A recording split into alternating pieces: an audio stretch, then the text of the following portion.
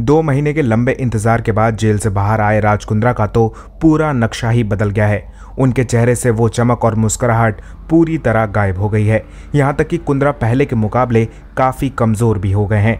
Media के सामने दो महीने बाद आए कुंद्रा की आँखों से वो चमक बिल्कुल गायब हो चुकी है, जो पहले दिखा करती थी। जेल से बाहर आने के बाद राज कुंद्रा भगवान का आशीर्वाद लेने सीधा मंदिर पहुँचे। यहाँ उन्होंने भगवान का शुक्रिया अदा किया। मीडिया ने कुंद्रा को मंदिर के बाहर ही घेर लिया। जब मीडिया ने कुंद्रा से सवाल पूछने की कोशिश की तो उन्होंने इसका कोई जवाब नहीं दिया। मंदिर में दर्शन करने के बाद कुंद्रा अपने घर के लिए रवाना हो गए। जेल की चार दीवारी में पिछले साठ दिनों से बंद रहे कुंद्रा आखिरकार अपने महल का मज़ा लेंगे।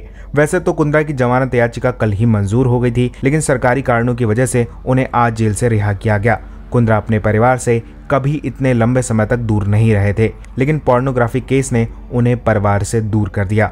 फ़िलहाल कुंद्रा की यह हालत देखकर काफ़ी तरस आ रहा है। कुंद्रा की इस हालत पर आप क्या कहेंगे? अपनी राय हमें कमेंट में दीजिए और ज़्यादा ऐसी अपडेट्स के लिए हमारे चैनल को सब्सक्राइब कीजिए।